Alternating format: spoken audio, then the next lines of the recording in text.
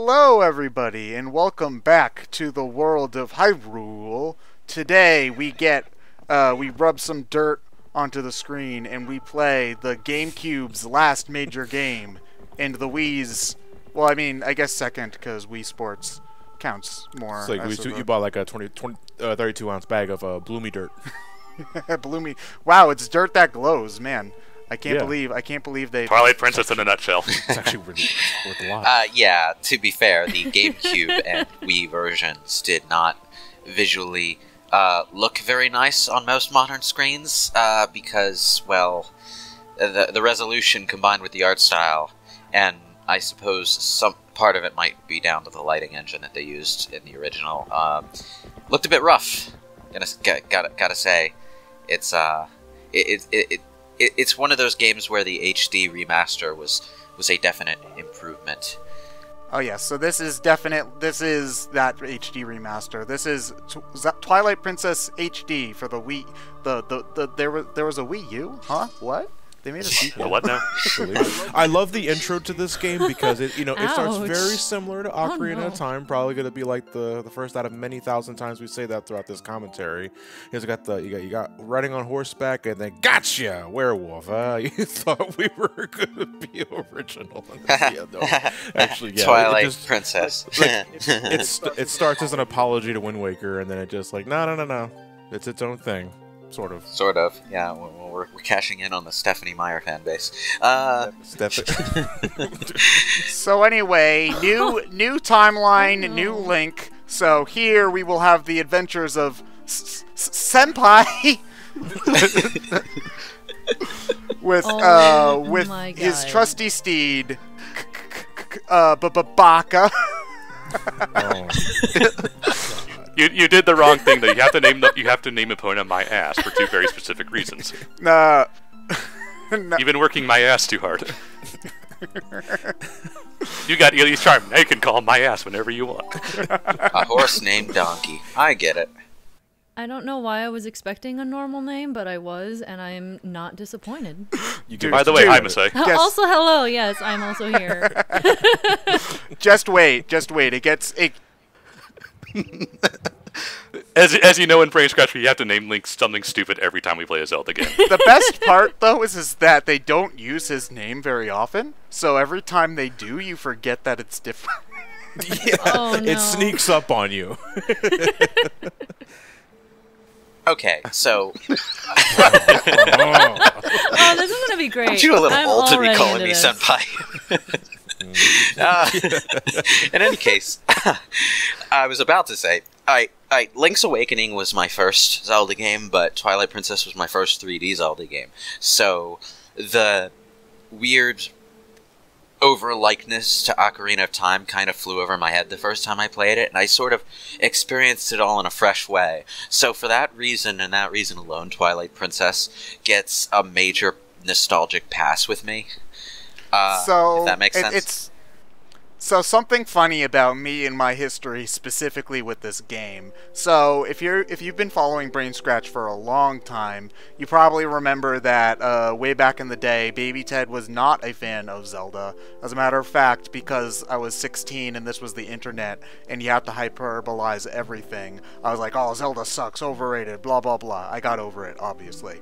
But uh, Twilight Princess in particular always really irritated me when I was little because Nintendo Power basically covered nothing but Twilight Princess for like two years, and I just hated it just because of that. Because every time I got Nintendo Power, I was like, "Oh, what are they gonna? Oh, it's Twilight Princess again. Oh, what Twilight Princess?" And then so, but so. Funny enough, I actually come to play it come the Wii U version, and it's my favorite 3D Zelda game. So funny correct how that works. I think it. I, I think it's this Zelda that had the most delays. Yes, Yes. that Uh, you know that It was plays an- it into was like an Breath of the. Wild, I like- s- I, suppose, as well. There that was, like uh, massive originally. amounts. There was a massive amount of cut content for this game. I don't even remember half of it. It's been a while since I looked it up. But Um, it was first unveiled at E E3 2004. That video is still online. and it was, I believe, in interviews, Reggie said it was supposed to like come out later that year, or like 2005. and then it got delayed. Uh, but say you sound times, like the most tortured out of all of us. I, Yes, I why don't you- despise why don't you tell us your experience like, with- Yeah. your honestly, like? I remember when they made the announcement, I was so pumped for it. I like I know my my story with this is basically anyone else's who was excited around that time, but I was so pumped for this game. I was so excited. I was like, oh my god, oh my god, it's Zelda, it's Zelda, Zelda, and then I was waiting for it so like so dedicatedly, and then delay and then delay and then delay. I think by the time I actually got the game, I was just really pissed at it already from the you get were go. an old woman. I, I was an old lady by the time I played this game. And like I, I was just real pissed from the get go. I don't know. Yeah. Uh, so who here, when the game, like, and let's be honest, who here, when this game came out, was part of the Wind Waker sucks because it's cartoony crowd? Me. Me? Oh, okay. I definitely was. I I skipped over uh, Wind Waker completely, even though I did, I think, have access to a GameCube at the time, because I hadn't played Oc- Ocarina of Time yet, or, or Majora's Mask, and I was bitter about that. I wanted to, I wanted to have a chance to play those first. Obviously, I got over that by the time Twilight Princess happened. I'd like I- to clarify that I like Wind Waker now before Good. anyone starts like Before the trashing comments on me. get on you. Yeah. yeah, now. Um, Do not I slit my not- throat, please. I liked Wind Waker enough, but when I saw initially what this game was trying to do more with the combat and kind of a more detailed world in a sense, I was definitely looking forward to something a bit more depth-wise Yeah, than Wind Waker Yeah. because Wind Waker is a lot of stop and go, not a lot going on around you at any given moment unless you're in a dungeon. yeah, yeah. I, I, I get, see I get you. that. Yeah, uh, well, even to the, even this game to an extent um, is a lot of the same, v- uh, very basic lock-on three-dimensional combat that O- Ocarina of Time pioneered, and then the series sort of spun its wheels, not particularly improving on for a couple generations.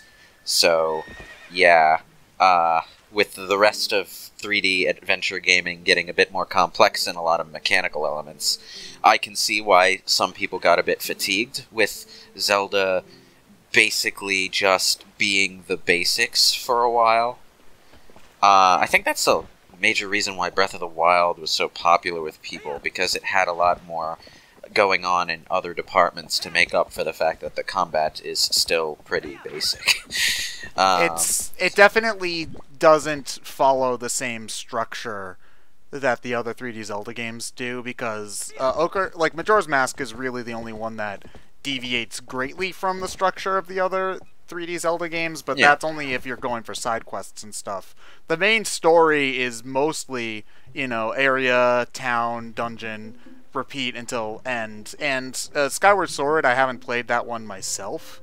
Um, but from what I can tell, the structure is the same. The controls are just different.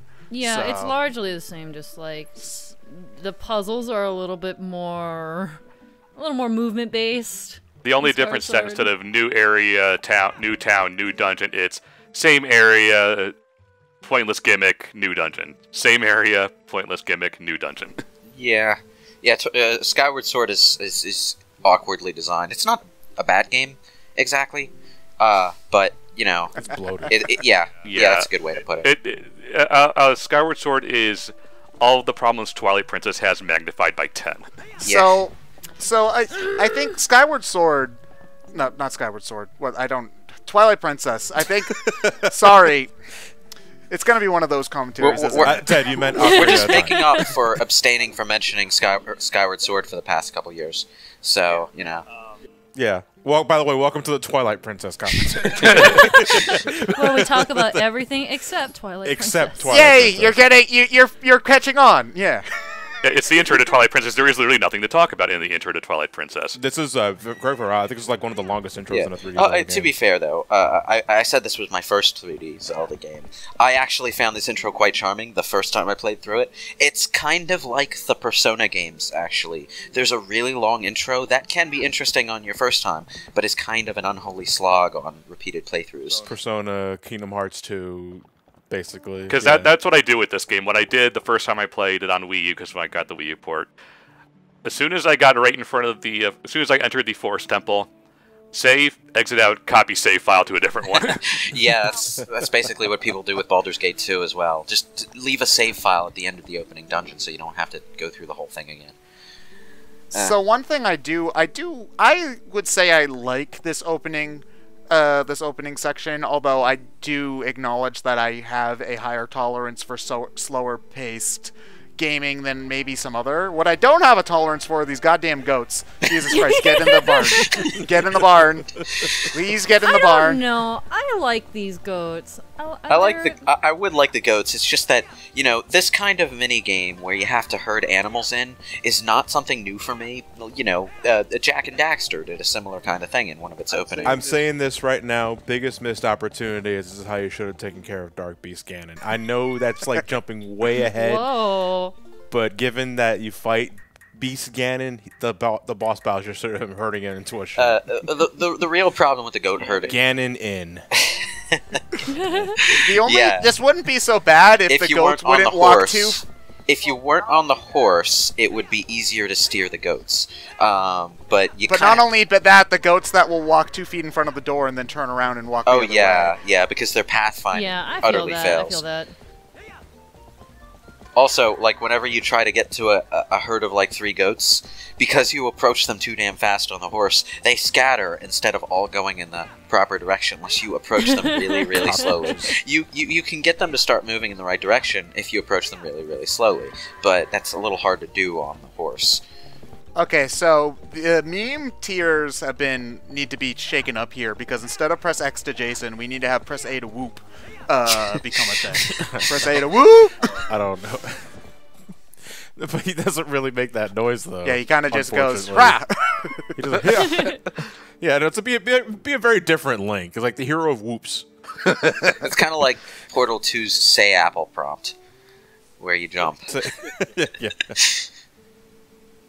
Okay. Wow, Oh, I can't believe that you can't literally can't do anything by yourself, dude. All right. I, I don't think if you you even need to jump over the, the fence. I think you can just leave and then he won't bother you. Yeah. You you don't you're need to too jump lazy over that open fence. op- It's more of a tutorial to make sure you know how to do it. You need to jump over the other fence to get out. because God forbid we open the fence. You know. or just let you figure it out yourself because there's a fence right there. Why would it be there if you couldn't Yes, jump you know, over it? your, your girlfriend gets on your case for you know pushing your horse too hard, but everyone is making you jump fences here. you don't have an option. Honestly, it's not even the senpai that bothers me. Is it that it's lowercase? Like, why is it lowercase? Because It needs to fit into the rest of a sentence. because you know you don't want sentences So you don't to lowercase names, isn't senpai Well, a se- title? senpai's not a name. if, if you if you capitalize the S, it'll read as S senpai instead of senpai. but That's sen- uh, God forbid. yeah wait it'll be wake up senpai as opposed to wake up senpai. No, you'll actually have to verbalize the letter S, which is always awkward. You know, S senpai. It's like an abbreviation, like your pen name or something. S senpai. Uh, okay, so Esquire. All right, so YouTubers, take this image of Link in the total blackness and chroma key whatever the heck you want back there. Uh, I personally recommend putting the dancing uh, commercial from Japanese Link to the Past back there. uh, Zinderu. Zinderu, deru, deru, deru. okay. yeah, so this this whole area is one thing that I do kind of like about this beginning section is in order to mask all the tutorials, they just ask Link to do the stuff for them as opposed to telling Link how to do it. So it implies Except for sword fighting, in which case it tells you how to do it exactly. Well, no, it's that they're like, Link, Press show me this how you do it. It's because you press B to slash, right? or whatever.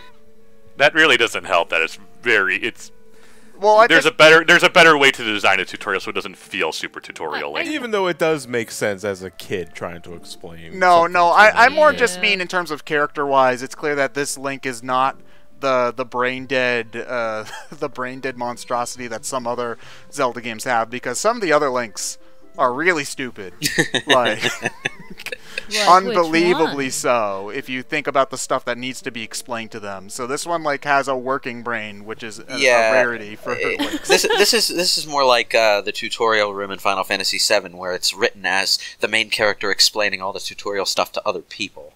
You know, Yeah. so it, it, it gives him the feeling that he knows what he's doing. What do you mean you're telling me this? The great person in the sky will know.